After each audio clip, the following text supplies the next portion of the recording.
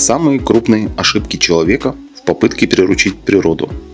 Хотели как лучше, а получилось как всегда. С некоторыми результатами этих рискованных затей мы вынуждены жить до сих пор. Привет, меня зовут Евгений, это проект «Популярная география» на канале Вселенная Beautiful World.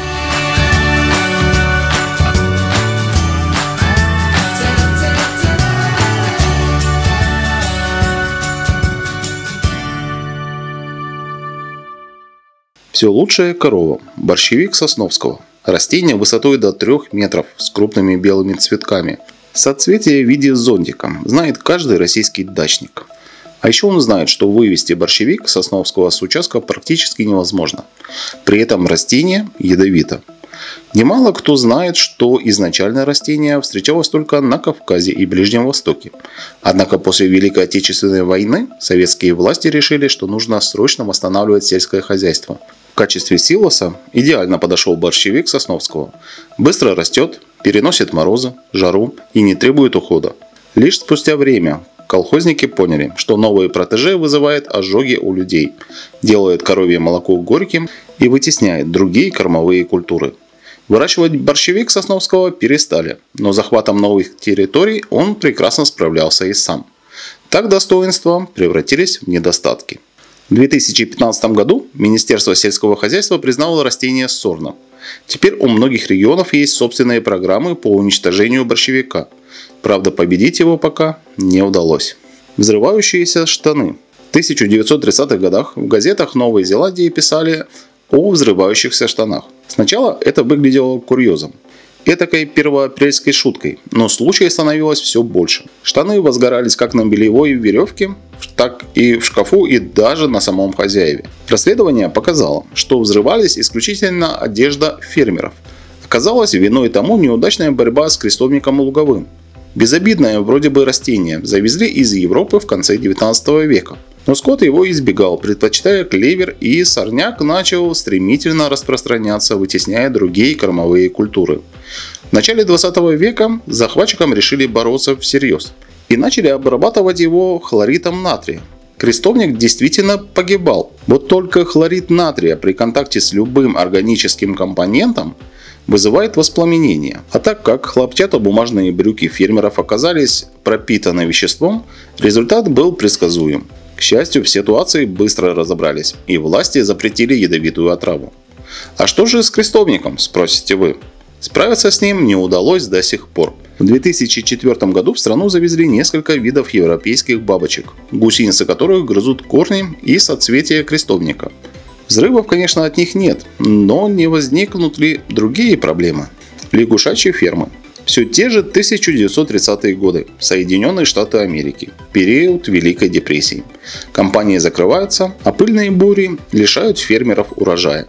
Не лучшее время для начала бизнеса. Но Альберт Бройл решил рискнуть и основать компанию по консервированию лягушек. Вернее, лягушки-быка, которая является одним из самых крупных видов семейства. При длине 15-20 см она весит около 450 грамм. Собственная фирма не могла обеспечить работу компании. И Бройл начал принимать поставки. Американцы ухватились за возможность разбогатеть, и в стране стали открываться лягушачьи фермы. А затем начались проблемы. Оказалось, большинство лягушек умирает, не достигнув нужного размера. Чтобы снизить потери, особей надо защищать от других видов и даже от собственных родителей. Другая проблема заключалась в том, что лягушка-бык очень много ест, причем пища должна передвигаться. Постоянное производство живого корма стало еще одной головной болью фермеров. Причем не на один месяц. Развитие головастиков занимает до двух лет. В результате фермеры начали нести убытки, и их владельцам пришлось отказаться от мечты разбогатеть на лягушачьем мясе. Какое-то время предприятие Бройла существовало за счет поставок охотников, но отстрел лягушек привел к сокращению их популяции. Так что выращивание земноводных потерпело крах. Пчелы-убийцы. 1956 году генетик Орик Эставан Кер по просьбе пчеловодов решил скрестить обычных медоносных пчел, распространенных в Европе, с африканскими. Планировалось, что гибрид унаследует физическую силу и плодовитость африканских пчел, а продуктивность его будет выше европейских. Эксперимент проходил в лаборатории около города Риу-Клару. Чтобы избежать произвольного скрещивания, Кер Оборудовал ульи сетками с мелкими ячейками. Пролезать через них могли только рабочие пчелы, не способные к размножению. Матки и трутни были надежно заперты внутри. Все шло успешно, пока другой пчеловод по какой-то причине не отодвинул заслонку. С пасеки улетело 26 раев. И на свободе пчелы-гибриды начали скрещиваться с местными. А через несколько лет участились случаи нападения на людей. Африканизированные пчелы оказались не только продуктивнее, но и агрессивнее европейских.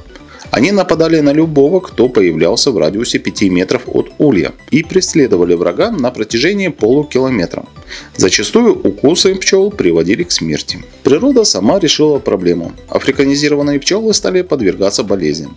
Из 2005 года наметился упадок колоний. Ядовитая жаба ага. В 1930-х годах фермеры Клинсвинда страдали от нашествия вредителей на плантации сахарного тростника, но вместо пестицидов предпочли завести из Соединенных Штатов Америки жабу ага, известную также как тростниковая жаба. Австралийцы ожидали, что она поест вредителей и сельское хозяйство продолжит процветать, но у земноводного были свои планы. Вредителями жаба не заинтересовалась, в отличие от других насекомых. Более того, на новом месте земноводному понравилось, и она начала быстро размножаться – После выяснилось, что жаба-ага очень ядовита. И для многих местных животных попытка полакомиться амфибией заканчивалась смертельным отравлением. Местные жители пытались бороться с возникшей угрозой, но безрезультатно. Жабы продолжали распространяться, нанося вред не только фермерским угодьям. К счастью, природа взяла все под свой контроль. Нашлись звери и птицы, которые сочли тростниковую жабу хорошим обедом. Так пищевая цепочка восстановилась. На этом все. Оставляйте комментарии, ставьте лайки, подписывайтесь на канал, кто еще не подписан. Впереди много интересного. До новой встречи на проекте «Популярная география». Всем пока!